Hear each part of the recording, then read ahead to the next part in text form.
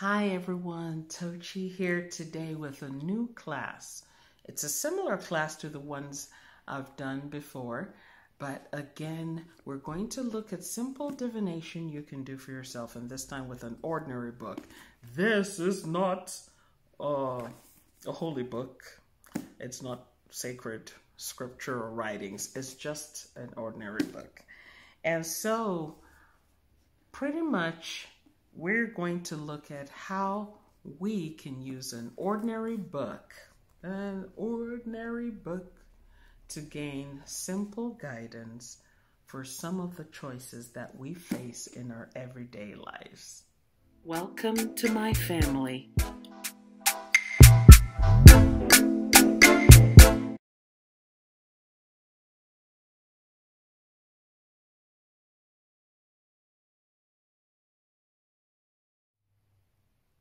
So there it is. So get any book of your choice. I do have this book. I think it's a, a great book. Um, it's a book of uh, Proverbs, African Proverbs here. And I picked this up from an African store. And um, so this book has no scriptural, no holy writings or anything like that. Okay in it. Um, so pick any book you want, you know, any language, you know, pick. Okay. And so what we're going to do, we're pretty much going to use the same principle that we used in the Bible divination and the Quran divination. If you have not watched those two videos, I do encourage you to take a moment after watching this video to go watch those two videos. We're pretty much going to use the same principles. We're not going to ask any deep soul searching questions in our divination. We just want to get some simple guidance. You know, that's all we're trying to get here. Okay. We also want to be careful that when we phrase our questions, we're not going to phrase our questions as yes or no, because then it makes the whole point of the divination useless. You know, if I want a yes or no, I can use a coin or use cowrie shells or something like that. But, you know, I want a little bit more meat to my divination because I want to get some guidance, okay? Even if it's a negative uh, response, I want to know why and what to do about it. And if it's positive, I know I want to know why and what to do about it. So basically, what we will do here is that we will calm down, take a deep breath.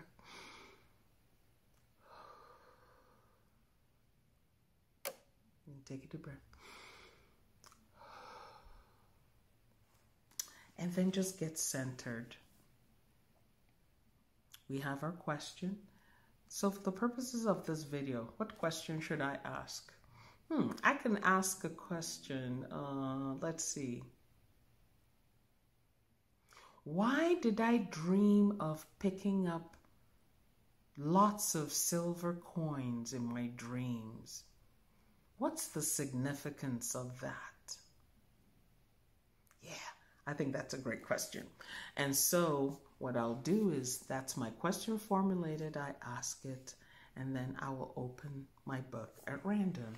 And then without looking at where I opened, I will touch and then read. If you laugh at someone's rough skin, you must be prepared to give him or her oil. And then we'll write that down. If you laugh at someone's rough skin, you must be prepared to give him or her oil. Hmm. I'm picking up a lot of silver coins in my dreams. Laughing at someone and being prepared to give them oil. Hmm. For me to give someone oil, hmm, I will need money to buy the oil. So, in other words, if I don't have the money to buy the oil, uh, I shouldn't laugh at them. What has that got to do with silver coins? Hmm. So I do it a second time.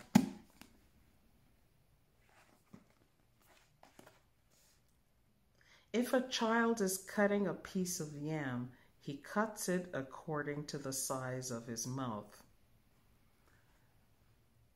Oil, yam,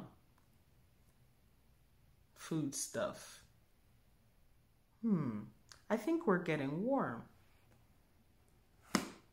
And then I do it a third time.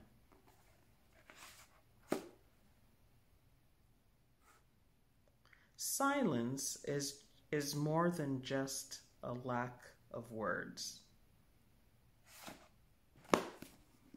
Hmm.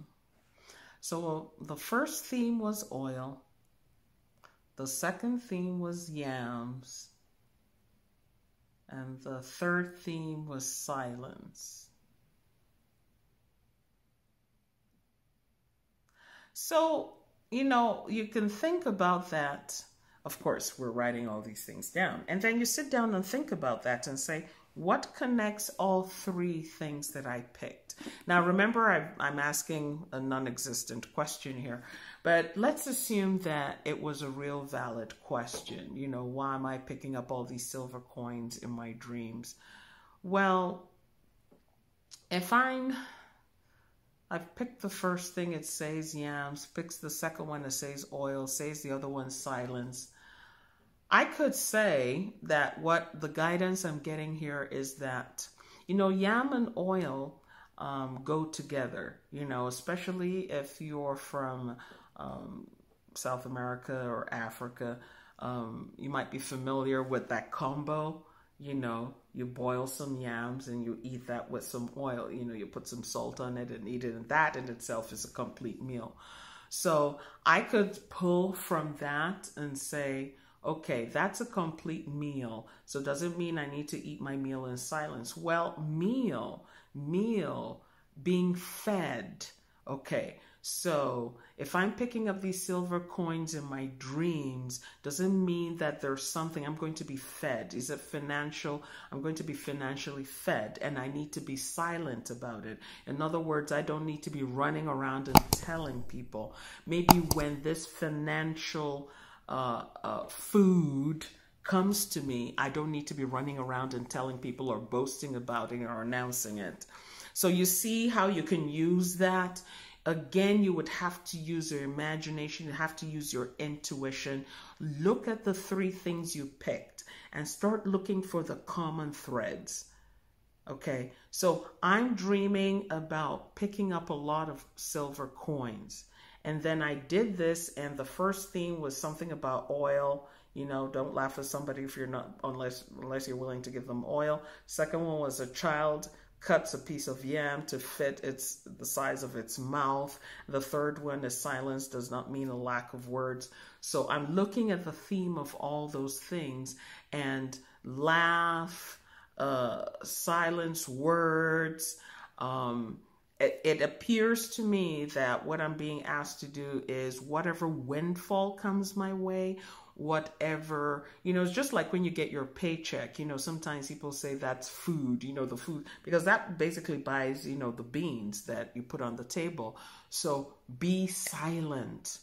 Be silent about the windfall that comes your way, that material sustenance that is coming your way.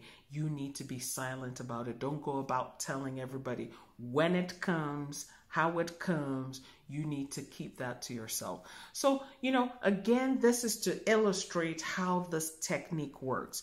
Remember that using, uh, remember that using books uh, for divination, they're tools. Don't, for goodness sake, don't look at this as the be all and end all. No, you're just using this as a tool. You're just using it as a simple tool.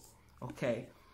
When you go to a professional spiritual practitioner or professional reader or professional psychic, obviously they do this professionally. They have a high degree of skill in doing divinations. But there's sometimes you just want to do a little something, something for yourself. You know what I'm saying? You know what I'm saying? You know? Yeah, okay. You know, in the morning you want to get up and say, hey, I just want to know how my day's going to go or I want to know how my week is going to go. Today is my birthday. I just want to get some kind of indication as how my year, you know, might want to, is going to go, you know, something like that. You want to use it for something, just a general level of guidance. Now, I want to say this other thing. Unlike the Bible and the Quran, which again, the ayats or the verses tend to have multiple layers of meanings. When you're using an ordinary book, honey, there are no multiple layers of meanings in here. So that's why you do not want to be using this for life or death kind of questions, okay? You do not want to be using this for kind of deeper questions like, what's the name of my guardian spirit? Okay? You, all right, you don't want to be saying, um, I want to know the uh, origins of the universe. Now, you don't want to be doing that with this. So you can use this. Um, it. I, I would hate to use the word entertainment, but it could be like a form of entertainment to see like what you get, you know. And I like using um, ordinary books like this as a means of training uh, or intuition, training or inner knowing. You know, if you've been in my spiritual uh, detox retreats or any of my spiritual coaching classes, you know that uh, we do have this exercise where we use a meaningless image or object to develop our intuitive abilities. You can do that with this too. You can do that with this too. Because remember again, your intuition, using your inner eye, you can you can then train your intuition to look into something and extract meaning that is hidden to the visible eyes. So I think this is a great thing to do on a Sunday afternoon or Saturday afternoon or any afternoon that you have time and you can use it and start training yourself to start seeing things beyond the obvious. You can use this to do simple divinations, you know, answer simple questions. I would encourage you to try this out and see how it works for you. Well, thank you very much for joining me in today's short class. If you enjoyed it, give me a thumbs up. If you're not a subscriber, please hit the subscribe button. If you're not a member, consider hitting the join button below this video to join the Dr. Tochi channel as a member. There are four membership levels. You can read all about it when you click that button. If you need to get a hold of me, if you want to follow me on Instagram or Facebook, there is a link in the description below this video that you can click on and reach me in a variety of ways. If you need to reach out to me for products and services, especially professional divination, click on that link in the description below this video. And as usual, we will end our class with our invocation. To our Creator, our guardian spirit, guardian angel, our spirit guides, our ancestors, and all those that we hold dear, near, and sacred, we say thank you. Thank you for this fun time we have together. Thank you for all the wonderful things we learned together. Thank you for all the laughter and love that we share. And thank you so much for your protection and guidance. Ashe.